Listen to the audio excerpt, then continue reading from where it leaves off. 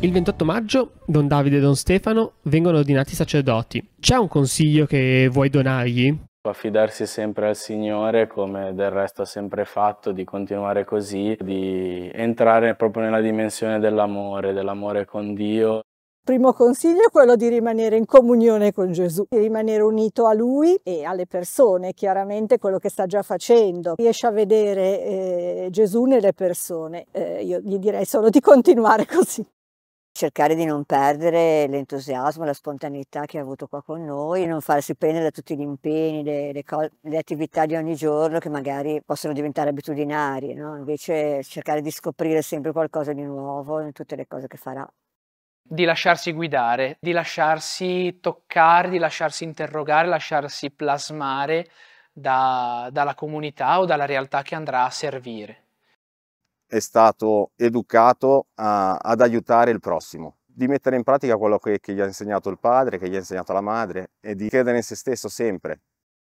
Da un lato, dico una frase di Papa Francesco, non lasciatevi mai spegnere l'entusiasmo missionario, lo zelo per il Signore, cioè il desiderio che questa parola di salvezza ricevuta, che questo amore che si è scoperto forte nella propria vita, debba essere trasmesso agli altri, condividerlo, viverlo insieme con gli altri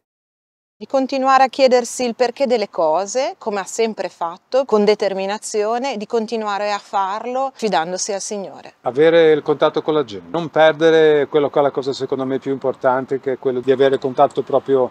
di prossimità con le persone, perché è veramente la loro missione, secondo me è questa. Di rimanere sempre così com'è, sempre con la gioia, abbracciare la croce, insomma, appoggiarsi a lui e andare avanti una grande umiltà, una grande consapevolezza che è il Signore che fa tutto e che quindi noi ci mettiamo a sua disposizione. Laddove andiamo il Signore c'è già e lì lo incontriamo, lì lo suscitiamo, lì lo scopriamo insieme con i fratelli che ci sono stati affidati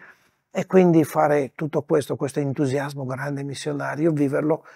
proprio nella pace, nella tranquillità, nell'umiltà del Signore di servire Lui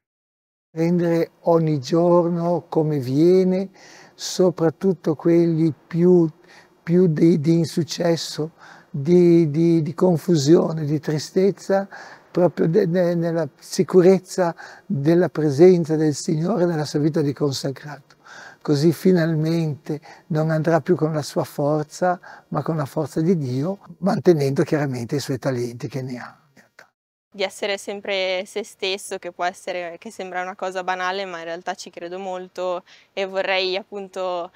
continuandolo a seguire nelle parrocchie in cui farà servizio, in tutto quello che gli chiederanno di fare in questi anni, vederlo sempre il fratellone burlone che, che ho vissuto per 23 anni e che ho visto finora e che quindi spero che, che mantenga questa cosa.